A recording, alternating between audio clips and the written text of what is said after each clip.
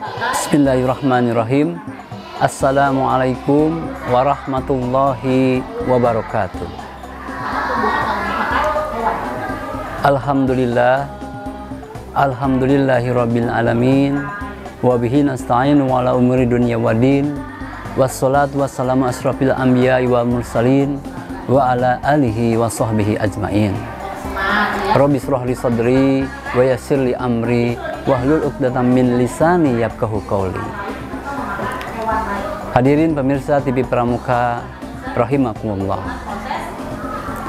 Puji syukur kita panjatkan kehadirat Allah Subhanahu wa taala. Hari ini kita semua melaksanakan saum Ramadan.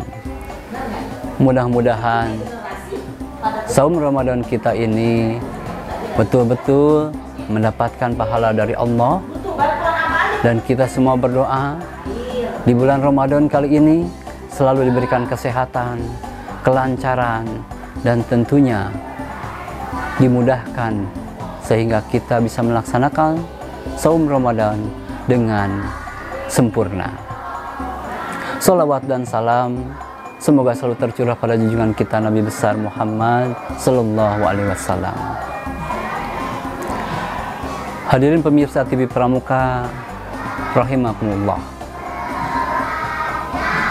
Allah berfirman di dalam surat Al-Baqarah 183. Ya ayyuhalladzina amanu kutiba alaikumusiyam kama kutiba alal ladzina min qablikum la'allakum tattaqun.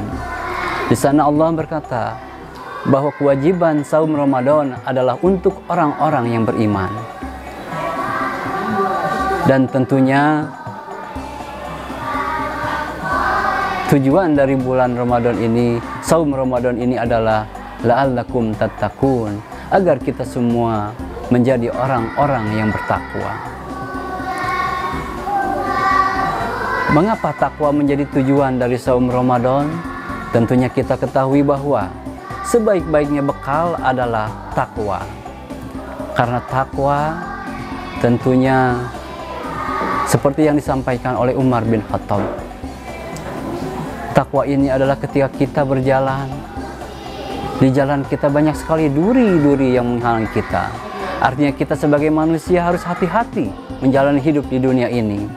Kita harus lebih meningkatkan keyakinan kita dan tawakal kita kepada Allah. Sehingga kita tidak mudah terjerumus dan terperosok akan hasutan dari setan. Sehingga kita melanggar perintah Allah dan tidak menjalankan apa yang diperintahkan oleh Allah. Hadirin pemirsa TV Pramuka rahimakumullah. Marilah kita lihat di situ bahwa di bulan Ramadan ini adalah bulan di mana bulan pendidikan.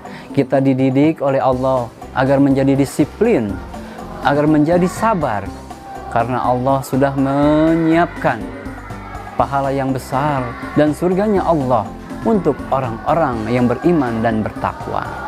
Oleh karena itu, kita isi kegiatan saum Ramadan ini dengan kegiatan-kegiatan yang bermanfaat, yaitu kegiatan-kegiatan yang bisa menjadi tabungan kita untuk akhirat kelak. Di antaranya tadarus Al-Quran, melaksanakan sholat lima waktu dan sholat-sholat sunat yang lainnya juga menghadiri majlis-majlis ilmu misalnya kuliah subuh dan pesantren Ramadan yang dilaksanakan oleh masyarakat maupun di sekolah. Hadirin pemirsa TV Pramuka rahimakumullah.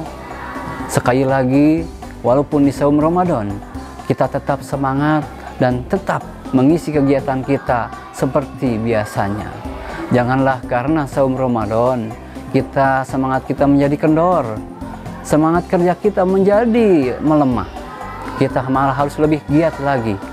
Belajar kita bekerja kita harus lebih giat lagi agar kita bisa mencapai apa yang kita cita-citakan yaitu bahagia di dunia ini dan juga bahagia di akhirat. Oleh karena itu mari kita semua tingkatkan kualitas kita sebagai hamba Allah dan menjadi hamba Allah yang memang dicintai oleh Allah dan mencintai Allah dan Rasulnya. Mungkin itu yang bisa disampaikan. Kurang lebihnya mohon maaf. Wassalamualaikum warahmatullahi wabarakatuh.